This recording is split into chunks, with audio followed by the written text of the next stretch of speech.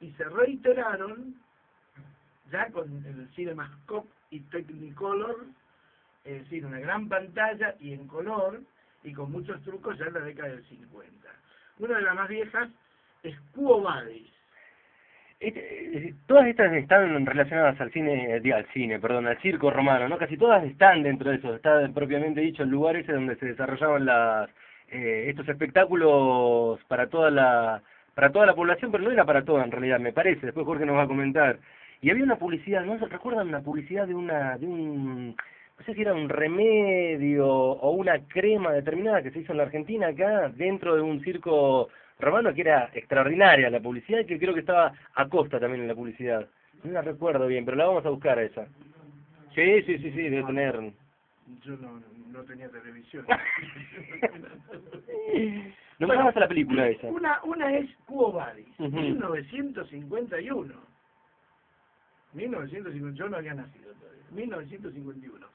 Que viene de una especie de un, un dicho romano, un dicho latino que está en, el, en una de las traducciones al latín del Nuevo Testamento, que es quo vadis domine, a dónde va Señor.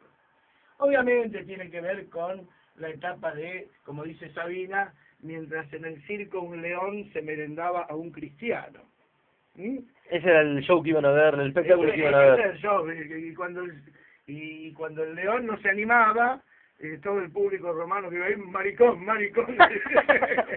Para acá, ahí está el libro, me da el Qué espantoso eso, ¿eh? que la gente aplauda porque se estaba morfando tipos, ¿eh? a, varios inclusive. Bueno, y ahí lo muestra en la película.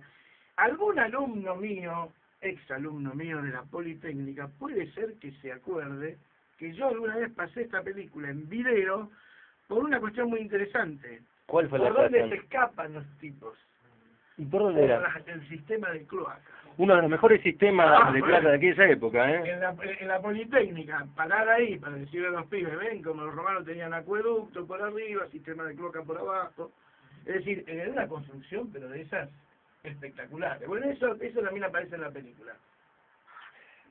Eh, eh, me nombraste la película, pero yo para buscarla acá, la película, me dijiste el nombre de la película recién. Body.